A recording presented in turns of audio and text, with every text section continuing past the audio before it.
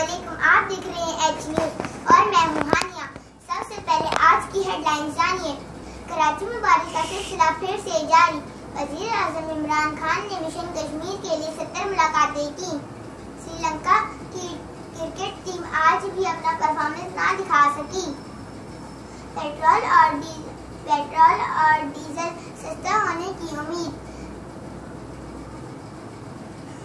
आज की बारिश ने के इलेक्ट्रिक और के का पोल भी खोल दिया। अब खबरों की तफसील जानिए। कराची में कराची में बादल हमसे राज़ी हो गए और खूब बरसे। बारिश से रोज़मर्रा ज़िंदगी मफलूज हो गई। महकमे मौसमियात के मुताबिक रोज महकमे मौसमियात दो दिन तक मजीद बारिश होगी। वज़ीर आज़म इमरान खान ने मिशन कश्मीर के लिए सात दिन में सत्तर मालिक के सरबराहों से मुलाकातें की। और उनसे मसला कश्मीर के बारे में बातचीत की। आज की बाशिया से श्रीलंका और पाकिस्तान का पहला वनडे मैच ना हो सका और पीर को दूसरा वनडे मैच होने का इम्कान।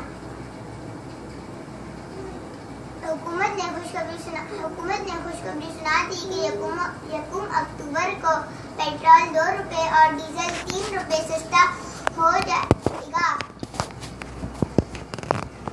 आज की बारिश ने इलेक्ट्रिक आज की तीस मिनट की बारिश ने आधी शहर कराची को बिजली से महरूम कर दिया। तीस मिनट में पाँच हज़ार फीडर ट्रिप कर गए और करंट लगने से पाँच अफराज जहाँ बाग हो गए।